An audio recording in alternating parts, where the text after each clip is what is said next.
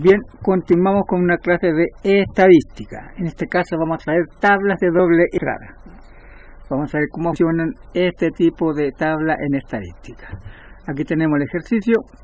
Se tienen seis niños que practican algún deporte. La tabla, ¿no es cierto?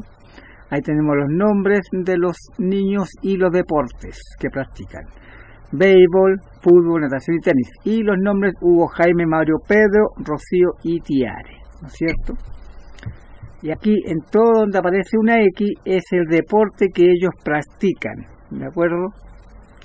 Entonces, el NI punto significa los la cantidad de deportes de las filas. Tenemos un deporte, dos, dos deportes. Hugo.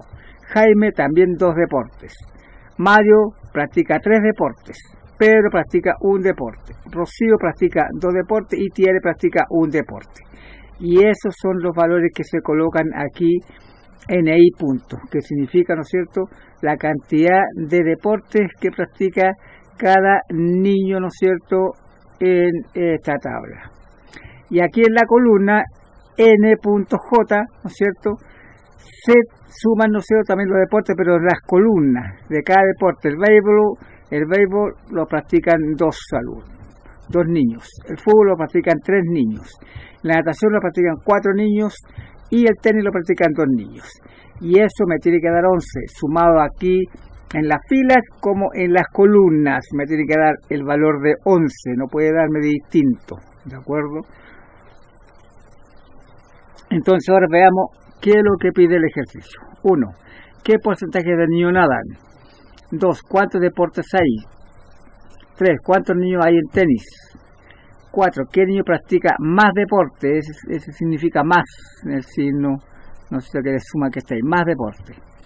5. ¿Cuánto practican béisbol? 6. ¿Qué deporte es menos practicado? Y 7. ¿Qué deporte es más practicado?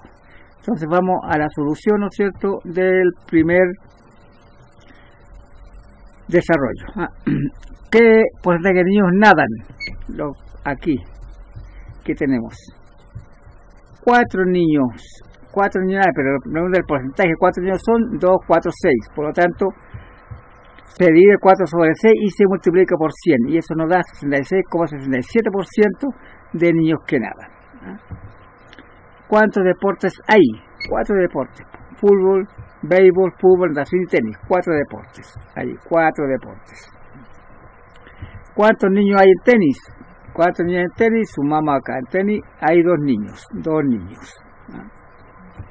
Cuatro, ¿qué niño practica más deporte? ¿Qué niño practica más, deporte aquí? Mario, pues. Practica béisbol, fútbol y tenis. Tres, eh, practica tres deportes. Mario, tres deportes. Cinco, ¿Cuántos practican béisbol? ¿Cuántos practican béisbol? Dos. Pues. Dos niños practican béisbol, que en este caso es Hugo y Mario. Dos. 6. ¿Qué deporte menos practicado? ¿Qué deporte menos practicado? Bueno, el béisbol y el tenis, solo que tienen menos cantidad de niños que lo practican. Por lo tanto, béisbol y tenis. Ahí está, béisbol y tenis. Y 7. ¿Qué deporte más practicado? ¿Qué deporte más? Natación. 4. Cuatro niños practican natación. Ahí está.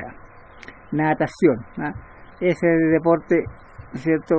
Más practicado. Y eso es todo lo que se hace en una tabla de doble entrada y en la forma en que debe de colocarse los datos como los títulos, ¿no es cierto?, de lo que uno va a desarrollar. Esto no es complicado, solamente es pura práctica y yo creo que lo van a aprender rápidamente. Nos vemos en otra clase.